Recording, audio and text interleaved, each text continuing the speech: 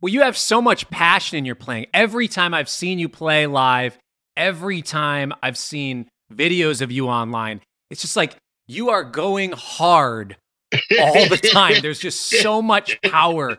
There's so much passion in your playing. Like where does where do you harness that from and how do you just constantly just rah, express that out in your playing?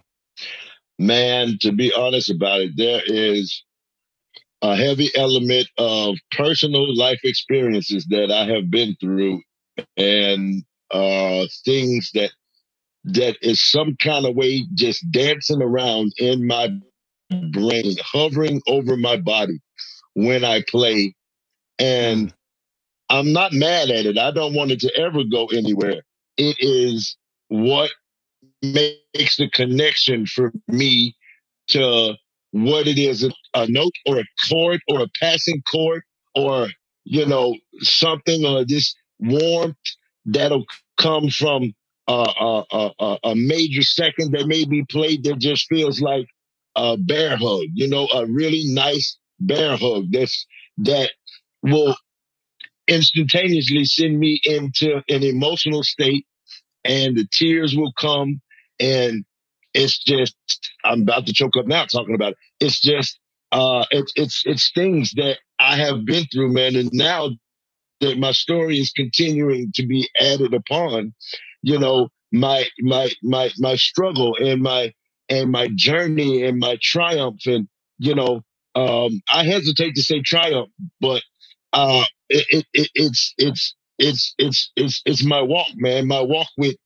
you know where I am in life now knowing that there's a strong sense to me that I should have been dead a long time ago. Like mm. I should have been gone a long time ago, man.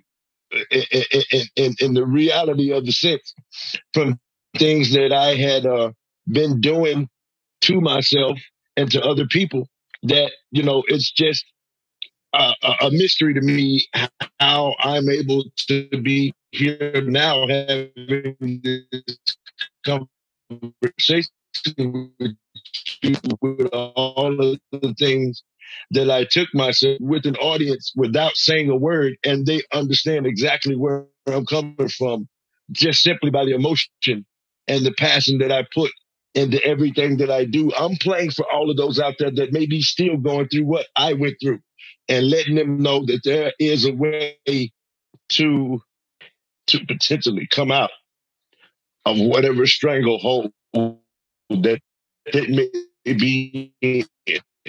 So it's for them and it's for myself every single night I play as if it's my last time.